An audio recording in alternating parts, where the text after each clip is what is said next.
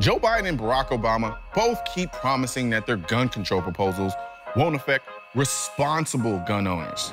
They don't have anything to worry about. I mean, how can any reasonable law abiding citizen not be for universal background checks? Come on, people. Criminals are criminals because they don't obey the law. So the next time this criminal wants to take this gun and sell it to this other criminal, you know what? Hey, guy, let's go over to that gun store over there and get a background check just to make sure you're not a felon. Really? And for you people out there who are listening to this, get your ego stroked because Joe Biden's talking to me. I'm the responsible. I like guns. I don't want to take them away. They're reasonable. Well, think about who you're siding with. Joe Biden has not the slightest clue what he's talking about. Yes, Joe, I'm talking to you.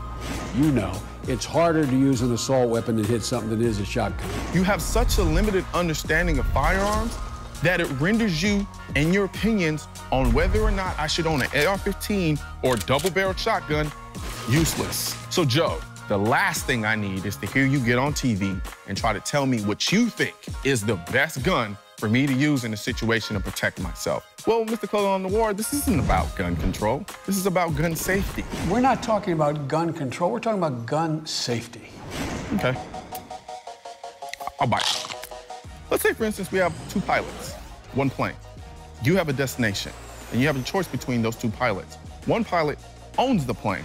He's never flown it. Or maybe he flew it once for maybe, I don't know, 30 minutes. Then there's another pilot. He also owns a plane, except he flies that plane every day and has flown the plane every day for the last three months. Now, I ask you, which pilot would you consider the responsible one? See, Joe Biden, I carry a firearm every day. You don't. Who do you think is gonna know more about firearm safety than the individual who has to clear a loaded handgun after every night when he comes home? So you sitting there trying to tell me that this isn't about gun control, that it's about firearm safety, and then trying to pass on your views to me is disrespectful. Because at the end of the day, you don't have the credentials.